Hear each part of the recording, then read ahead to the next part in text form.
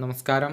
Raf talks ഫുട്ബോളിലേക്ക് ഏവർക്കും സ്വാഗതം. വരുന്ന ഇന്റർനാഷണൽ ബ്രേക്കിൽ രണ്ട് വേൾഡ് കപ്പ് യോഗ്യതാ മത്സരങ്ങളാണ് ബ്രസീൽ കളിക്കുന്നത്. ആദ്യ മത്സരത്തിൽ അവരുടെ എതിരാളികൾ ഇക്കഡോറാണ് സെപ്റ്റംബർ ഏഴാം തീയതി രാവിലെ ഇന്ത്യൻ സമയം ആറ് പതിനഞ്ചിനാണ് ഈ ഒരു മത്സരം നടക്കുക. രണ്ടാമത്തെ മത്സരത്തിൽ ബ്രസീലും പരാഗ്വയും തമ്മിലാണ് ഏറ്റുമുട്ടുക. സെപ്റ്റംബർ പതിനൊന്നാം തീയതി രാവിലെ ഇന്ത്യൻ സമയം ആറ് മണിക്കാണ് ഈയൊരു മത്സരം നടക്കുക. ഈ മത്സരത്തിന് വേണ്ടിയുള്ള സ്ക്വാഡ് ബ്രസീലിന്റെ പരിശീലകനായ ഡൊറിവാൾ ജൂനിയർ കഴിഞ്ഞ ദിവസം പ്രഖ്യാപിച്ചിരുന്നു. പരിക്ക് കാരണം നെയ്മർ ജൂനിയർ ഇടം നേടിയിട്ടില്ല. അതേസമയം കാസമിറോ റാഫീഞ്ഞ തുടങ്ങിയ ചില താരങ്ങൾക്ക് ടീമിൽ സ്ഥാനം ലഭിച്ചിട്ടില്ല. ഇതിനിടെ പതിനേഴ് വയസ്സ് മാത്രമുള്ള എസ്റ്റവായോ വില്യൻ ആദ്യമായിക്കൊണ്ട് ബ്രസീലിന്റെ സീനിയർ ടീമിൽ ഇപ്പോൾ ഇടം നേടിയിട്ടുണ്ട്. സമീപകാലത്ത് തകർപ്പൻ പ്രകടനം പുറത്തെടുക്കുന്ന മെസ്സീനോ അർഹിച്ച സ്ഥാനമാണ് ഇപ്പോൾ കരസ്ഥമാക്കിയിട്ടുള്ളത്.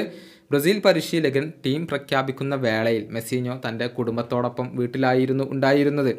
തന്റെ പേര് പ്രഖ്യാപിച്ചതോടുകൂടി ആ ഒരു നിമിഷം അദ്ദേഹം കുടുംബത്തോടൊപ്പം ആഘോഷിക്കുകയായിരുന്നു. അതിന്റെ വൈകാരികമായ ഒരു വീഡിയോ ഇപ്പോൾ പുറത്തു വന്നിട്ടുണ്ട്. വളരെ ഇമോഷണലായ ഒരു രീതിയിലാണ് അദ്ദേഹത്തിന്റെ കുടുംബാംഗങ്ങൾ അതിനോട് ഇപ്പോൾ റിയാക്ട് ചെയ്തിരിക്കുന്നത്.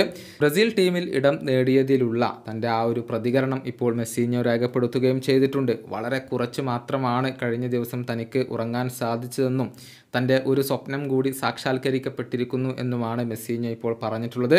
ബ്രസീൽ ക്ലബ്ബായ പാൽമറാസിന് വേണ്ടിയാണ് അദ്ദേഹം കളിച്ചുകൊണ്ടിരിക്കുന്നത്. മികച്ച പ്രകടനം അദ്ദേഹം നടത്തുന്നുണ്ട്.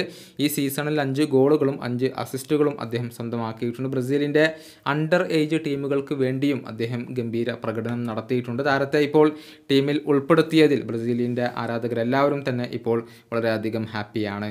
ഈ വീഡിയോയുടെ അവസാനിപ്പിക്കുന്നു. മറ്റൊരു വീണ്ടും കാണാം.